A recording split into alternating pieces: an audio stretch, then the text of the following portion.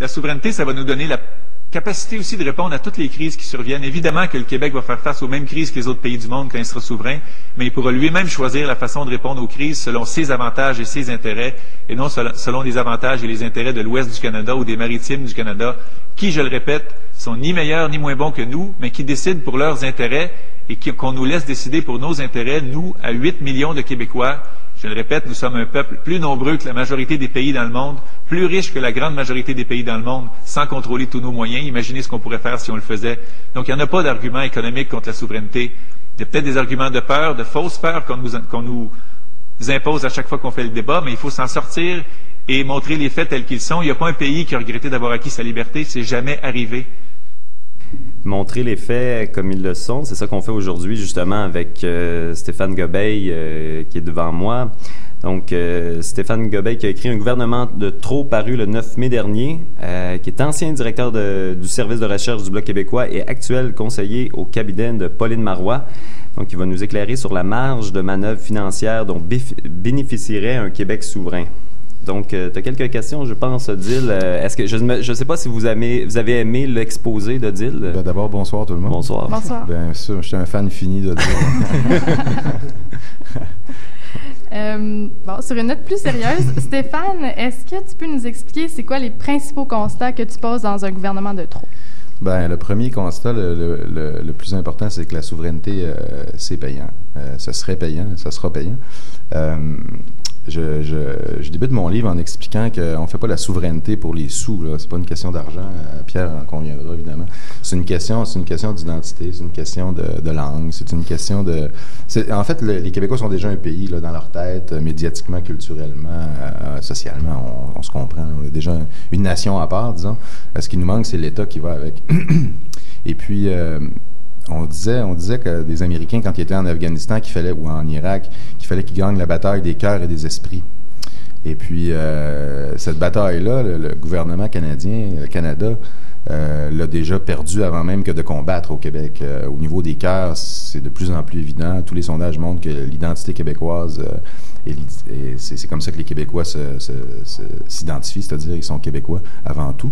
Euh, quand, on est ému par, euh, des artistes euh, canadiens, ben, ils sont Québécois. quand un athlète olympique gagne une médaille dans le monde entier, on peut être ému, mais quand on est ému d'un point de vue identitaire, c'est parce que c'est un athlète québécois qui a performé. Alors ça, c'est le cœur, je pourrais continuer longtemps, la langue, etc. Au niveau des esprits, je pense que n'importe qui qui réfléchit pendant plus que quelques secondes euh, va comprendre que pour la langue, ça serait beaucoup plus facile si on avait un pays clairement francophone où on maîtriserait toutes nos lois. au point de vue linguistique, c'est clair. Au point de vue juridique, on est verrouillé par la Constitution canadienne qui nous a été imposée et puis on peut pas la changer. Alors, euh, c'est sans issue euh, là aussi. Au point de vue politique, notre poids diminue, on se fait enfiroiper, si vous me passez l'expression, par Harper quotidiennement. Je pense que tout le monde en convient, même les, les fédéralistes du Québec. Alors, au point de vue des esprits, c'est aussi très clair, à mon avis, euh, pour la grande majorité des Québécois, que avoir un pays québécois, ce serait de beaucoup plus préférable. Maintenant, il reste, et certains disent la peur, moi j'aime bien parler de l'inertie, du doute. Euh, parce que c'est difficile de, s'arracher à une réalité, somme toute confortable. On n'est pas, on n'est pas non plus opprimé, euh, à part des fois par nos propres services de notre propre gouvernement. Euh, mais tu sais, les Québécois vivent dans, un, dans, dans, une situation relativement confortable. Alors, il faut s'arracher à ça pour former un pays. Alors ça, c'est la force d'inertie. C'est très puissant en politique, bien sûr. Et puis, il y a le doute. Alors, le doute, c'est là-dessus. C'est comme, si euh, notre attachement au Canada tenait avec juste une ficelle, puis en fait, le fil est un, peu, est un peu coupé, puis il reste juste une petite ficelle. C'est ça qui nous tient, c'est le doute. Mais comment on va faire euh, sans péréquation? Euh, est-ce qu'on va, va, être plus pauvre? Alors, c'est ce que mm-hmm. j'ai essayé de faire avec mon livre, répondre à, cette, à ce doute-là. puis pour le faire, j'ai épluché les comptes publics comme un moine. Je ne suis pas un moine, mais je l'ai été pendant quelques, quelques semaines, voire quelques mois. J'ai épluché les comptes publics du Canada ligne par ligne pour vérifier effectivement euh, qu'est-ce qu'il en était de l'état de nos finances euh, si on était un pays souverain. Alors, mais ma conclusion, c'est que c'est que si on, on, avait notre propre pays, euh, on se passe de, de, tous les transferts fédéraux, c'est-à-dire la péréquation, les pensions de vieillesse, l'assurance emploi, tout ce, qui, tout ce que le, le, gouvernement fédéral nous, nous envoie comme chèque avec notre propre argent, cela étant dit. Et puis, il nous reste 2 milliards de marge de manœuvre. C'est-à-dire qu'à partir du moment où euh, on fait la souveraineté, on, élimine la bureaucratie fédérale devenue inutile, ben, vous, prenez la, vous prenez la péréquation d'un côté, puis les économies qu'on fait de l'autre, puis on est gagnant. Mais non seulement on est gagnant au point de vue des finances publiques, c'est-à-dire qu'on a une marge de manœuvre de 2 milliards de plus, largement de quoi financer l'éducation et bien d'autres choses. Euh, on pourrait même, si on est plus de droite, baisser les impôts ou rembourser la dette. Euh, enfin, on, on aurait le choix. On fera des élections, on mm-hmm. choisira.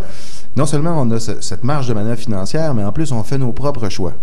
Alors, si vous me permettez de renchérir sur Odile, euh, et, elle, elle, a parlé euh, rapidement des transferts pour l'éducation. Je parler des, du système de prêt et bourse. En fait, c'est en deux temps.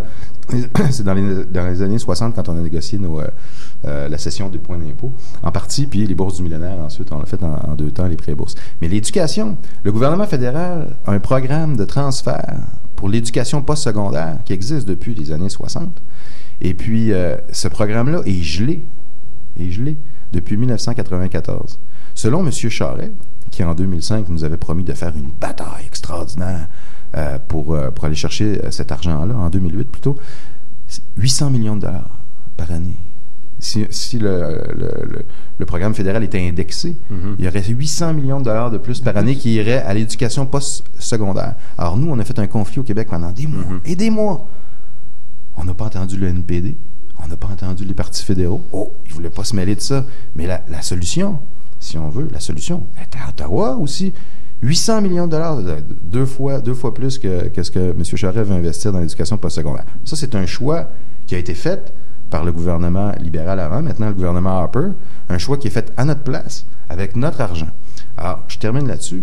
Je vais vous donner une petite illustration de ces choix incroyables. J'ai mon livre avec moi. Vous savez qu'il n'est pas cher. Hein? on parle d'économie, tout ça. Sachez-le. Non, c'est Jean-François Lisée qui m'a appris à plugger. ça vaut la peine. Euh. moi, je dis que c'est un livre essentiel.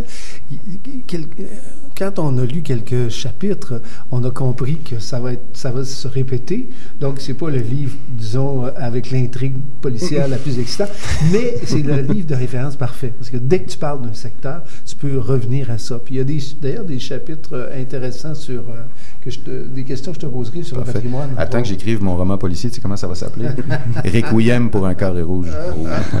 Alors, je vous donne un exemple. C'est frappant. C'est très, très, très sérieux. Euh, c'est tragique même.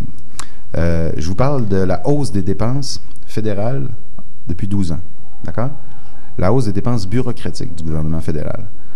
Pour la sécurité publique, le ministère de la Sécurité publique, les dépenses ont augmenté de 450 pour les douanes, 300% Les services secrets, 200% La GRC, 150% Les prisons, 100% Et pour les mêmes années, l'éducation au Québec, 56% Alors, il y a quelqu'un à Ottawa, qui s'appelle Stephen Harper, qui a choisi de mettre notre argent dans la sécurité, les services secrets, les prisons, puis on n'avait pas cet argent-là pour le mettre dans l'éducation. Quand on, serait un pays souverain aujourd'hui, on ferait des choix bien différents. On aurait euh, la capacité de faire des choix bien différents. C'est une des principales conclusions de, de mon livre. Il y en a d'autres.